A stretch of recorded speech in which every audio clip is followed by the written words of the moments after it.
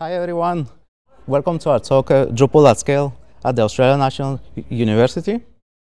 Uh, first, we would like to acknowledge the Gadigal of the Eora Nation, the traditional custodians of this land, and pay our respects to the elders, both past, present, and future. Also, we want to give a big thanks to the Drupal South team for organizing another awesome event that we always look to attend year after year to the Drupal core and contributed module maintainers whose passion for open source enables our projects and helps our progress. And to my team, Yi, Samundra, and Hong for turning our visions into reality. My name is Dmitry. I started working with Drupal in 2008 when I tried to speed up the development of my computer science degree project. Then I worked as a freelancer for several years, and in 2013, I decided to migrate to Australia to start a career as a business analyst.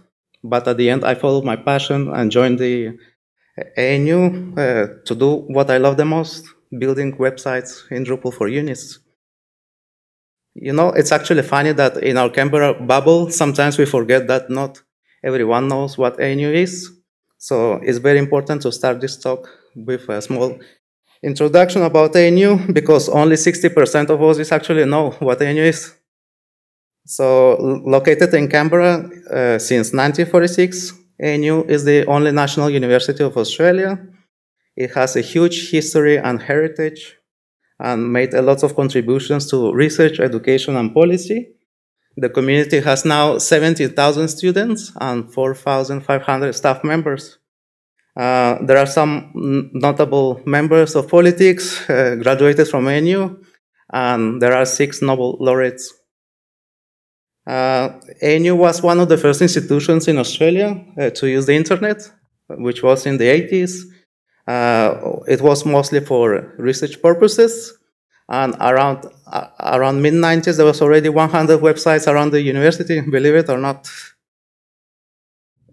ANU has managed its web in a decentralized manner since the beginning. There is a central web team that takes care of the central website. And uh, there are web teams in each of the faculties or colleges that uh, do web development, maintenance, uh, support services for those websites. But they need to follow the branding and security guidelines mandated by the central team. Uh, our web team uh, is four people, and we do in-house web development, maintenance, and support services for the Faculty of Science and Faculty of Health and Medicine. Uh, the services uh, that we provide have uh, uh, skyrocketed since I joined the, the university in 2013. For example, the number of sites has almost doubled. The number of web editors and web pages has increased five times. And uh, the number of help desk support tickets uh, has been increasing uh, steadily. The websites have become the main source to promote degree projects, uh, degrees, uh, projects, uh, news, events, and enable collaboration across the university. in terms of Drupal upgrades, we've migrated um, 10 websites to Drupal 10, and we still have 30 to go. Uh, this has been delayed by the rapid release of new Drupal versions, as you know. And uh, we've been waiting for some contributed modules to become available to be able to migrate them all.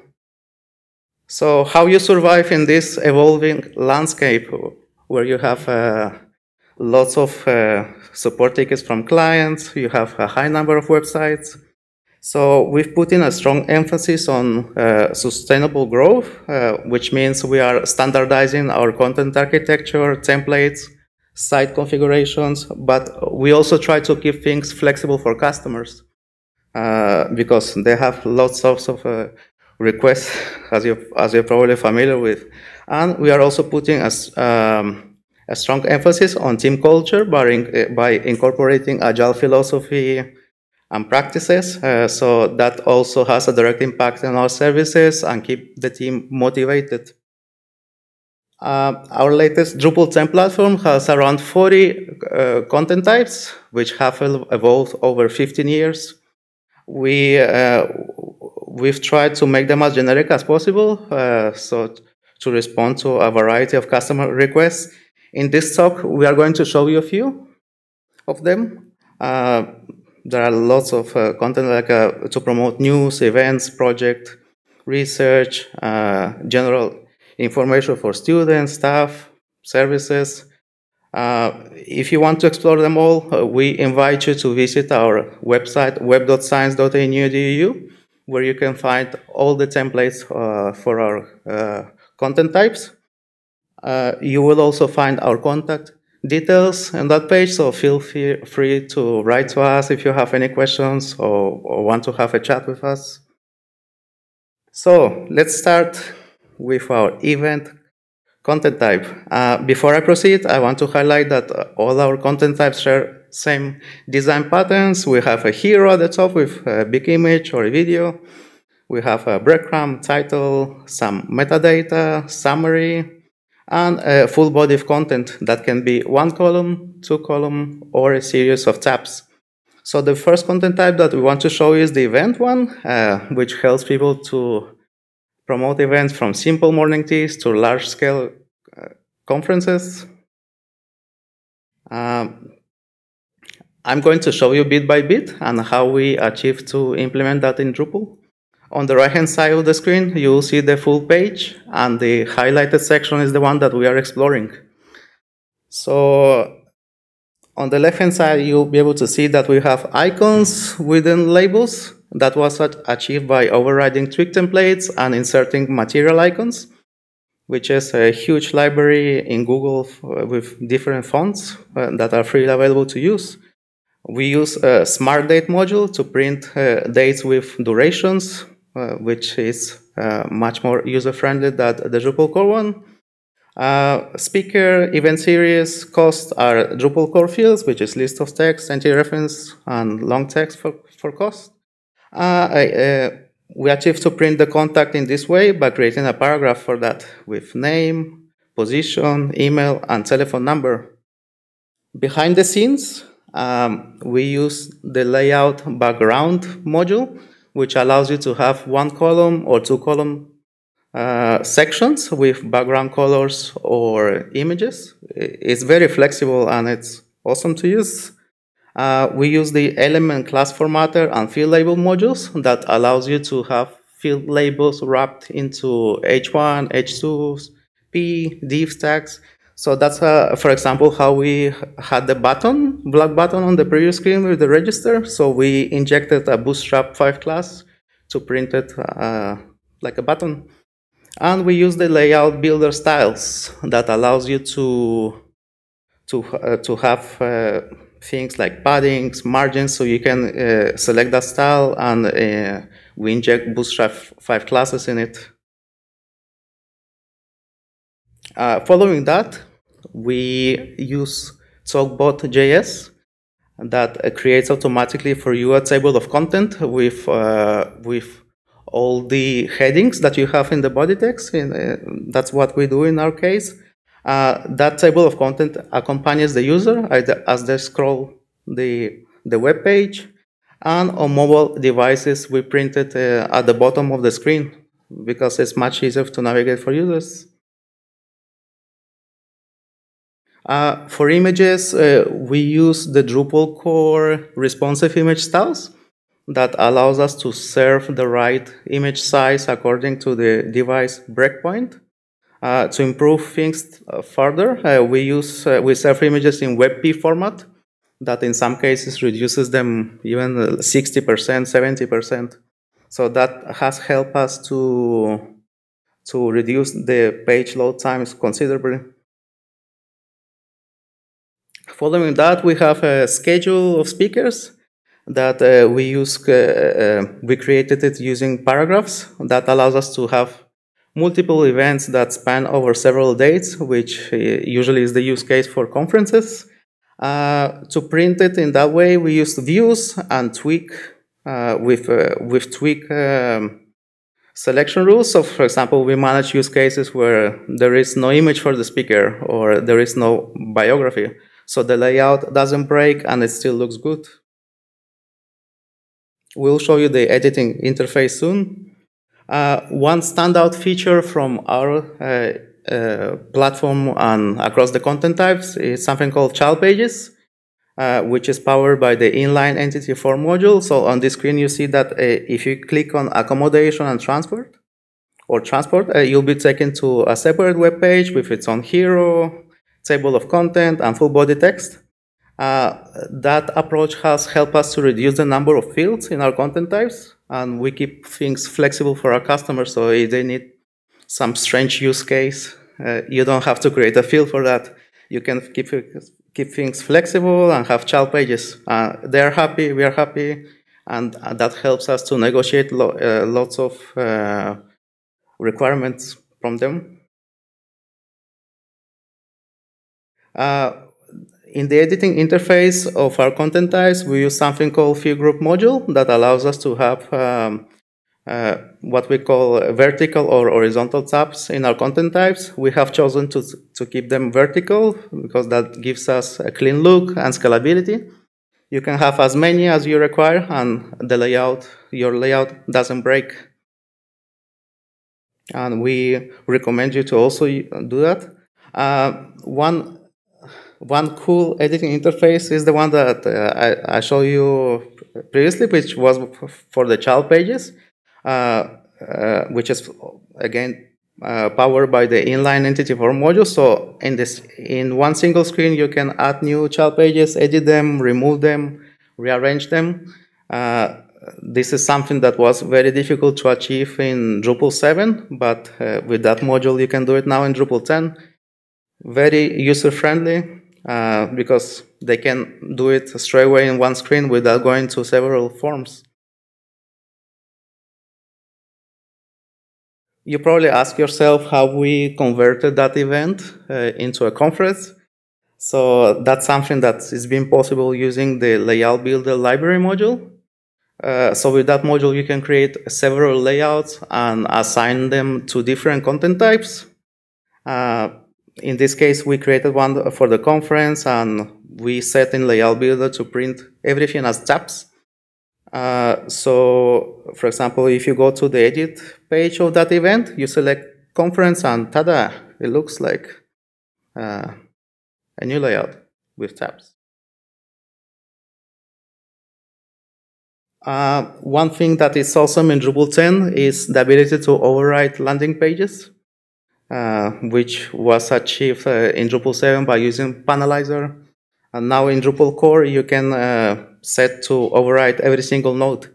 This is something that we use for to build the, all the landing pages in our websites. Uh, so the generic landing page content type only has hero, uh, promotional message, summary, and we overwrite every single one of them, and we add the necessary blocks to finalize the build of that page. Uh, with this strategy, we don't have to start from scratch uh, building all the landing pages, and there is a lot of work done. Uh, so the power to overwrite uh, pages uh, plus child pages is what we use for our centers and divisions, uh, institutes. This helps us to solve use cases where we are asked to do websites with a website, you know, in, in probably for you also, like everybody wants a website. So, but in this case where you can have child pages, so we say no, we we can have a website with a website for you, which is our center and division template. Uh, so for example, when you go to news and events, uh, we override the default layout of the child page and we insert uh, the entity reference views that points from different content types that point to the central division. We, we print of them, uh, print of them in each of the child pages. So that's how you have list of people, news and events, resources, research, projects, facilities, uh, so it's basically a website within a website. Uh, one of the co most complex content types that you'll find in our uh, templates is the one that promotes degree programs. It's, uh, it's a shop, basically a shop with uh, lots of content on it. So we have something like overview, testimonials, careers, learning experience, fees and scholarships, how to apply instructions, conveners, teachers. Uh, to create that content type, uh, we noticed that we use a lot something called content boxes, where you have a title, an image, a summary, and a call to action. So uh, to simplify things, we created that paragraph, and we reuse them across different fields of our uh, in in the edit form. So we avoided to create like six different paragraphs for each use case. And we use it across all our content types, that simple content box. So we use it, in this case, we use it for program descriptions, testimonials, conveners, learning experience, uh, teachers, like for all of them. Uh, so I recommend you to follow that uh, strategy in case sometimes you notice that there are certain things that you can reuse them. So create a paragraph, reuse it in all your content types. And the last one I wanted to show you is our promotional message content type, which we call feature. So we use them in our homepage, on landing pages, on our degree pages. Uh, and it's very, very, very awesome. Uh, I'm going to leave you with Samundra, who is going to present you our project management strategies, uh, team building, and other stuff. Thank you. Oh, sorry. Thank you. I, I I am Samundra.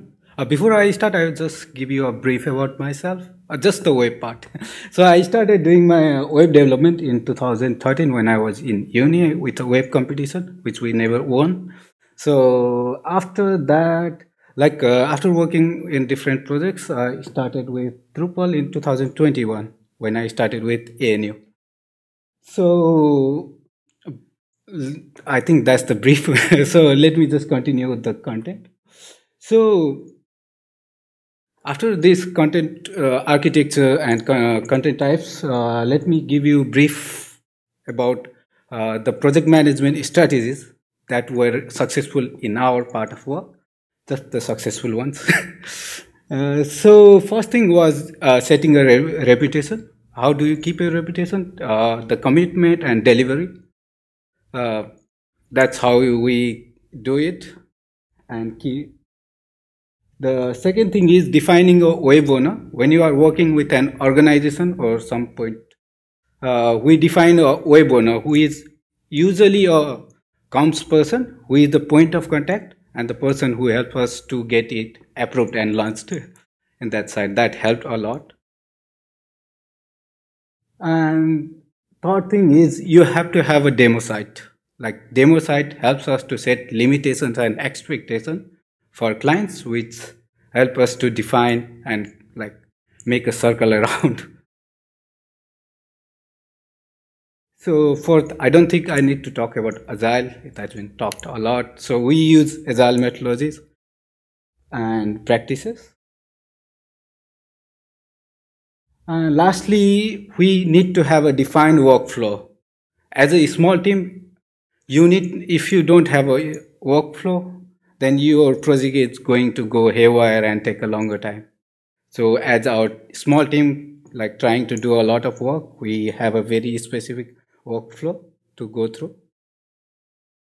So even though we use all these strategies, you can't do anything or like it is very difficult to do things if you are asked to do these kind of stuff that are like bigger projects and we have a small team like one of these some of them are here like you they are asking for a multilingual websites or uh, they want to connect it with the hr database and they want to place your site in the top ranking of google or something like this so i am hopeful about like ai technology which will help us with the multilingual website or something like that. But it has been a difficult task to like satisfy customer if they are asking that.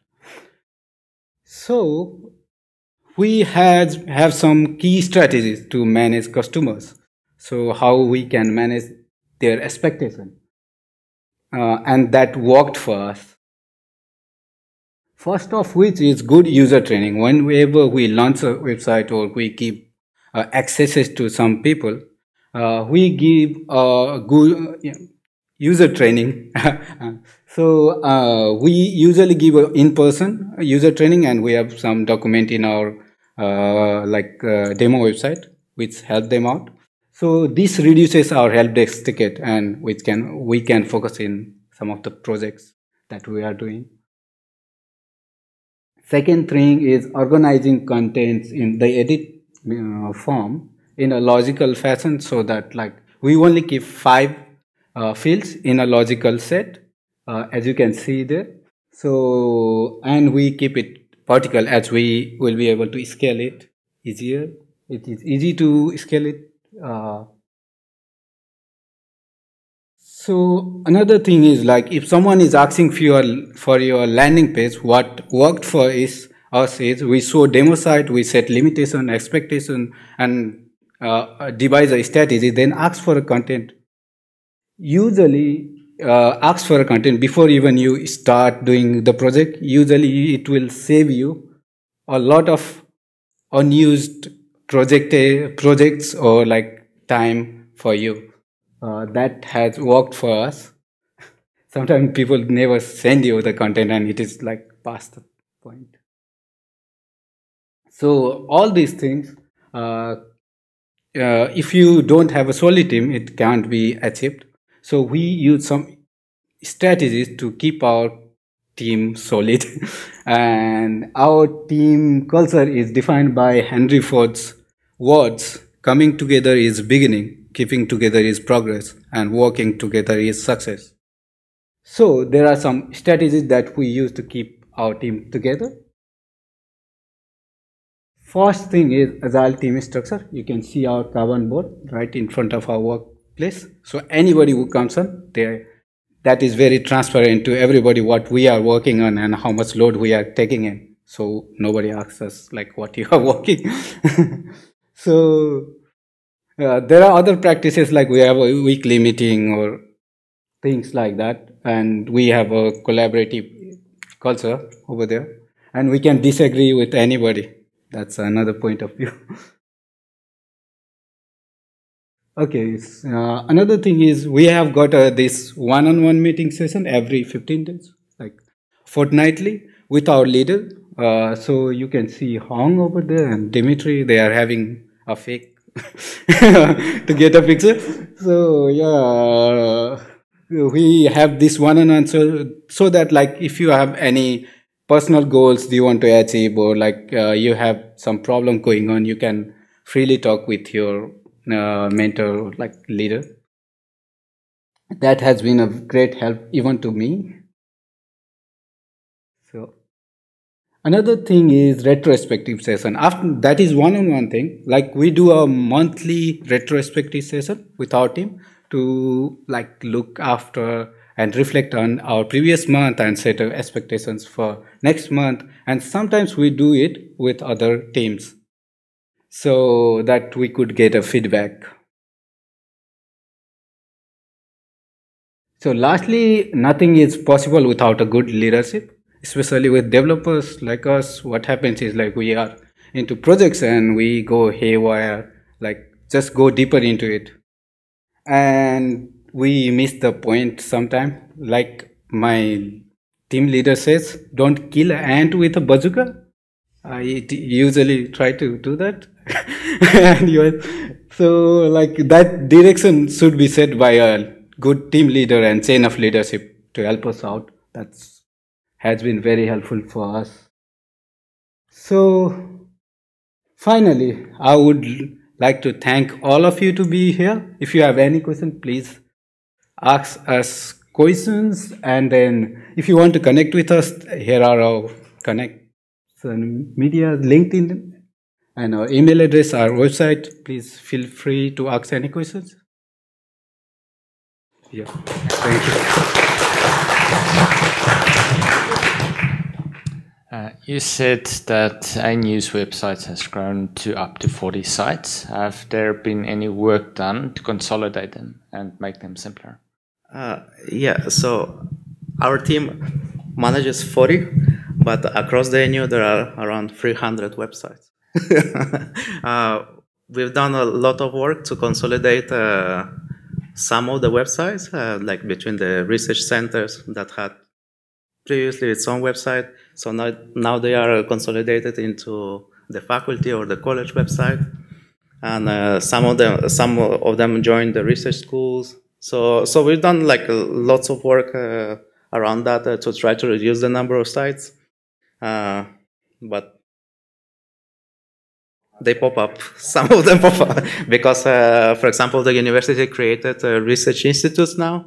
So each one of the research institutes now had to be its, its own website. So so things are growing uh, a little bit year after year. I think you had about 60. Yeah. Hmm. Uh, hi, just uh, wondering, have you been able to share your tech that you've created and your layouts and all of that uh, with the other colleges to kind of uplift all of ANU? Um, is that something that you're giving back to and, and to the central team and, and that, or is everything kind of siloed? Uh, so, uh, as I mentioned, like uh, ANU in its history had a, a decentralized way of, of, working. So each of the faculties has its own web team, and they have uh, their own strategies uh, to develop, maintain, and do help desk support. Some of them uh, also use outsourcing. So there are some companies that work with those faculties. Some of them do their own stuff. Uh, but we have shared like all this uh, content architecture with all the web team, but at the end, they are the ones that decide if they want to do their own thing or they want to use ours. But uh, yeah, we've, we've been trying to work more closely with with all the teams across the university, but uh, it's difficult uh, to to have an impact from from a local web team to the whole university. Like that's something that would be good to have uh, more support from the central to all the web teams. But uh, that's something that has been embedded in the history of ANU, so uh, the decentralized way of working. That's a question from me uh, because you said that I think you are using multi-sites, right? Uh, multi-sites yes. Uh, Drupal, right? I mean, so I know that you have many sites and you have how, how you face the situation like because each site had their own database. How you do the configuration? How you manage the configuration management? I mean, because